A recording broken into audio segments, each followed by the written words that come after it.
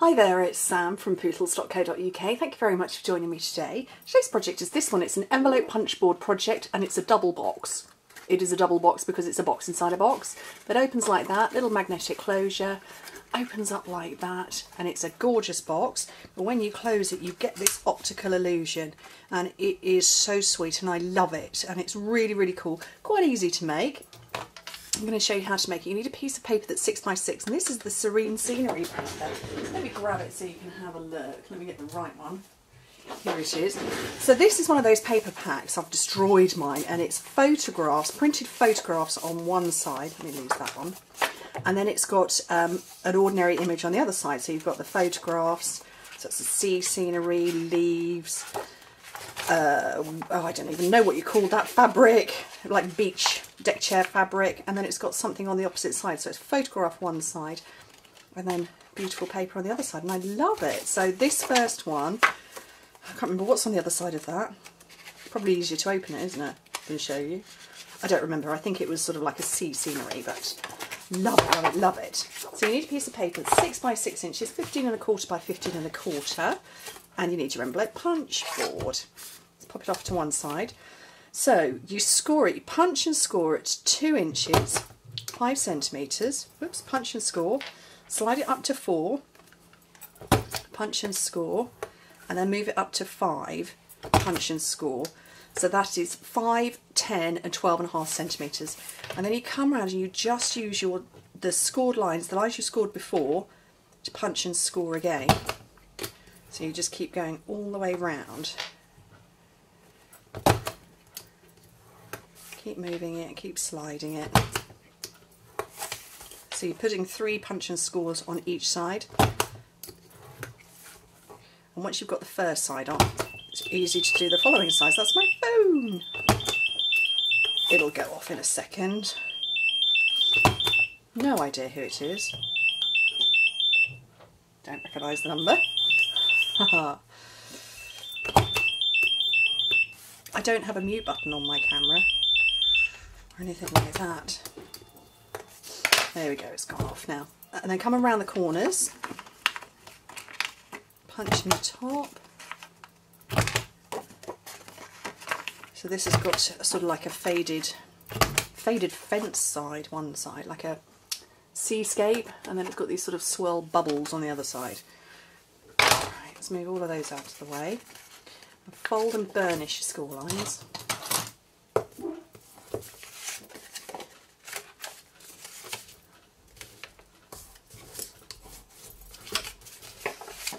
This all the way along.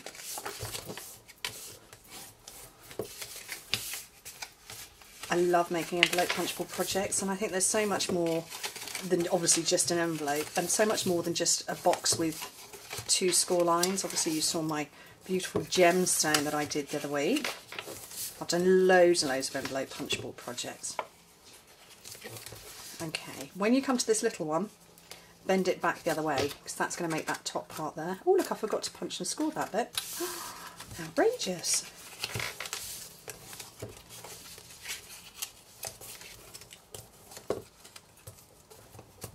There we go. So everything's folded, burnished and what have you. This part's going to fold up and this one is going to go in. So if I just open this up a little bit, you can see there are bits I've cut away and actually on these smaller sides here, if I turn it over you can see it, you've got a little square that we've created there. And you're going to cut those away on both sides. We'll do that bit first. So you do that on both sides, so you get rid of all of all of those little tiny squares.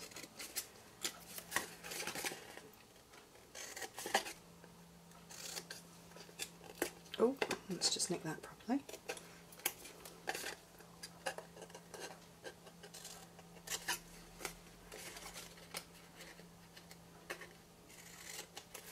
There we go. So that that's the bit that's going to come up. Now we've got these score lines here, but they're actually they're not really for burnishing particularly. Um, they're not for folding on only in that part.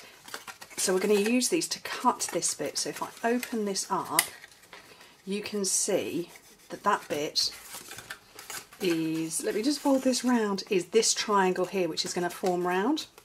This triangle here. So, not next to your little skinny bit, the one that's over.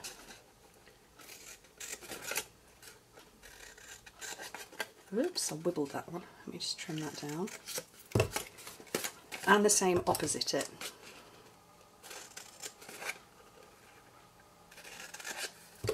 And that is going to fold round on the outside. So that when this bit comes in, that, oh, I forgot to put a bit in. Oh, and one inch. Knew there was a score line that I forgot. On this one, we're meant to punch at one inch. Come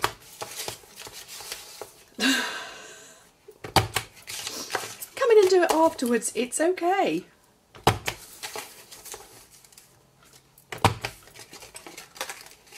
Because that's going to come in like that. I knew there was a bit I'd forgotten. One inch, two and a half centimetres. So you chopped that into the big triangle. So this is all going to fold round together like that and then this is going to pinch together over like that. Dead easy. Okay, so you want a couple of mini glue dots in each of those corners. So there's my mini glue dots, there's my paper piercer. I love mini glue dots for this. So you're going for this corner up here. So it's the corner part of your triangle that is next to your rectangle.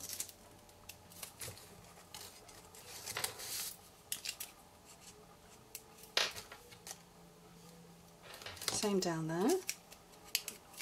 So we're putting this on the inside of the box. So when you fold it round on the outside, the same over there. So this is like a variation of my bag in a box which I designed a couple of years back. And but it's got a slightly different optical illusion. There and there. You fold those bits over and that bit will pinch together and it will hold it shut. So what you need is a couple of magnets. So these are neodymium magnets. I use a lady called Donna who sells under Spider Magnets. She is based in the UK, however, she ships all over the place, um, all over the world, super fast. Um, a little bit of pool party. Have I got a scrap? Oh, I have. Here we go. So, small punch, because the magnets are super strong. So small half inch circle. Take your first magnet, glue dot onto that and position it where you want it to go. Press firmly, glue dot, circle, cover up your magnet, push firmly, get your other one because obviously there's positives and negatives, I'll pick it up, and then that will, so if you put it onto the one you've stuck down, obviously then you'll know that it's positioned correctly. Glue dot onto that, and then line up your two tabs.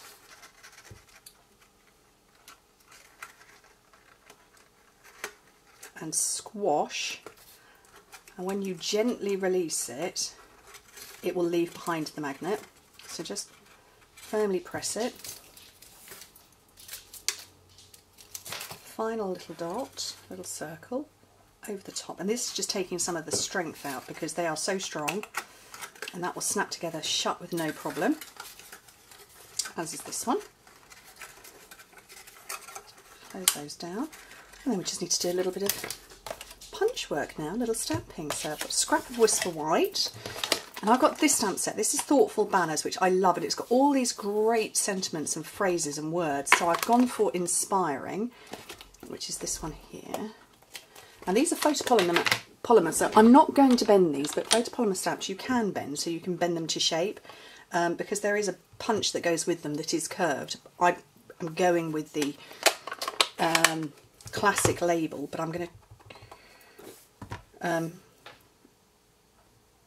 because I like it and I like the shape of it. I didn't want to bend on this one.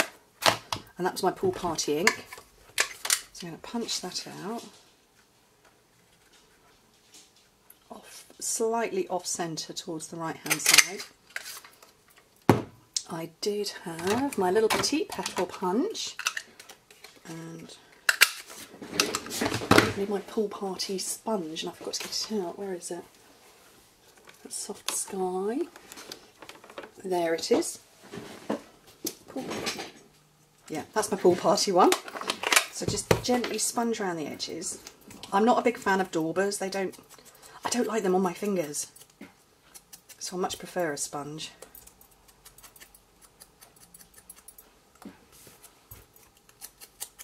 And then all around those petals.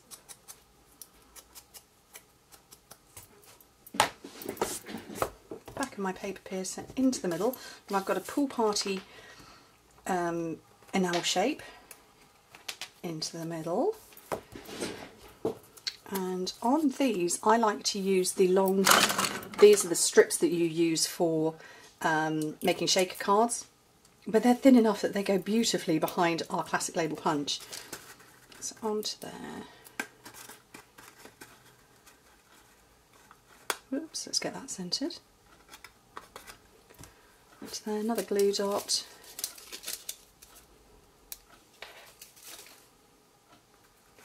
And that is my little box in a box.